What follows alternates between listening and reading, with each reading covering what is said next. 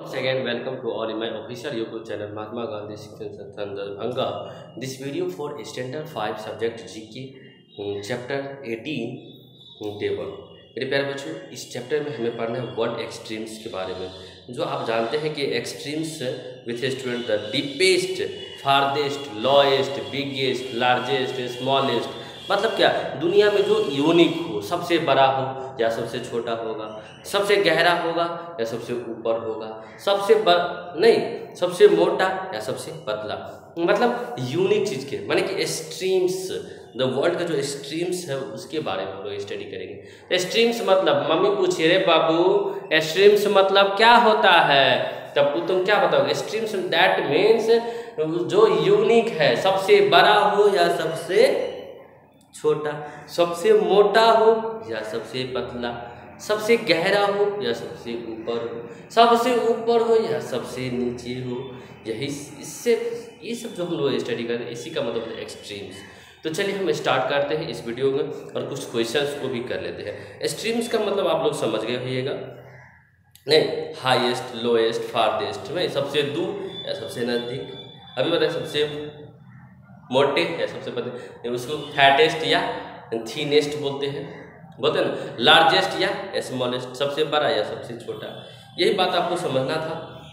Highest मतलब सबसे ऊपर होता है लोएस्ट मतलब सबसे नीचे होता है। ये बात आपको समझ में आई कि नहीं सो बताइए। तो चलिए हम पहला क्वेश्चन बोलते हैं। It is the farthest farthest far मतलब क्या था? दूर। तो सबसे दूर जो होता है point from the earth centre earth centre से सबसे दूर वाला जो पार्ट है, उसको क्या कहा जाता है? तो वन का आंसर हो जाएगा बी वन का आंसर क्या हो जाएगा?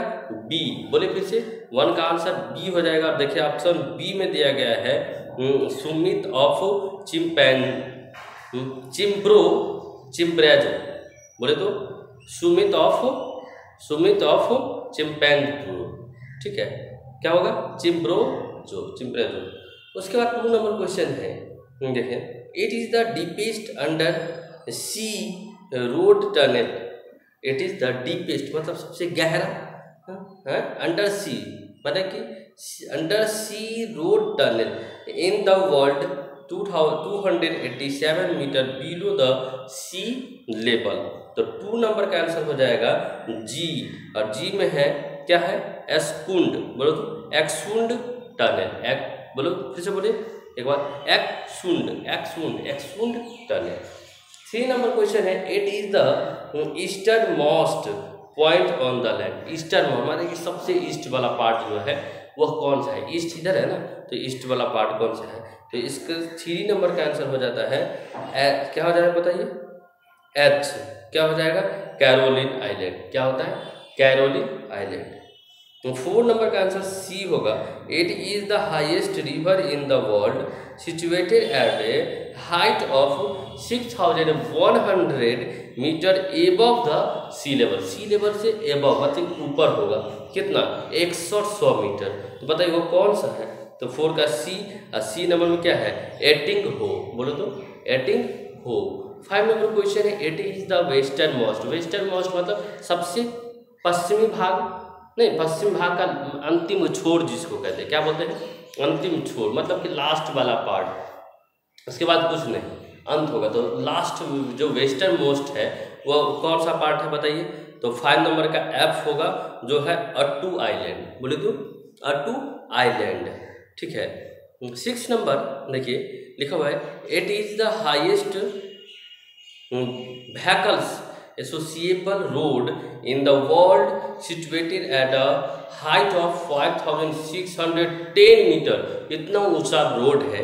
वह कौन सा? तो सिक्स का बोले तो ए हो जाएगा। सिक्स का ए हो जाएगा कब माना पास। बोले तो Mana pass. Seven number question है। It is the highest railway station located at 5068 meter above the sea level एवं मतलब ऊपर है, कितना फाइव 5000 तो देखिए 5068 मीटर कितना ऊँचा है? और इसका आंसर हो जाएगा ई और ई नंबर में है टेंगुला रेलवे स्टेशन बोले तो Tanggula railway station eight number question it is the lowest underground point lowest मतलब सबसे नीचे, जो अंडरग्राउंड है पार्ट है पॉइंट है, वो कौन सा है जिसका लगभग देखिए twelve thousand two hundred sixty two meter गहरा है। ठीक है? एवर रीच्ड बाय वुमेन्स जहाँ पान तो उस एट नंबर का आंसर हो जाएगा, क्या बोले? डी और डी नंबर में है कोला सुपर डीप बोले? Kola super deep bore hole ठीक है? समझ में आ गया होगा एट नंबर देखिए क्विज टाइम में दो क्वेश्चन दिया गया है। Name the following it is the lowest commercial airport lowest commercial airport इसमें हो जाएगा आत्मा एटीरोल airport. It is the world highest glacier highest glacier जो है, जिसका सिचुएटेड जो सिचुएटेड एट हाइट ऑफ़ देखिए, इसका हाइट जो है लगभग आठ हज़ार मीटर एबव है सी लेवल से एट थाउज़ेंड एबव तो सोचिए, कितना ऊँचा है? ये कौन सा ग्लेशियर है, बताइए तो खम्बू ग्लेशियर बोले तो खम्बू, बोले तो कुंभ ग्लेशियर याद रखिएगा, ठीक है? नेक्स्ट में हम लोग आपको क्या बताएँगे? चैप्टर एक्सरसाइज नाइनटीन क्या? नाइनटीन तो आज हम होमवर्क दे देते हैं, आप नाइनटीन कंप्लीट करके रहिएगा। नाइनटीन खुद से करिए, हम नहीं बताएँगे। और आपको याद करना है नाइनटीन स्वच्छ भारत अभियान क्लीननेस तो ये होमवर्क में है। हम नेक्स्ट हम ट्वेंटी हम बताएँगे, आपको नाइनटीन खुद करना है। ओके तो आज के लिए इतना ही। Thanks for today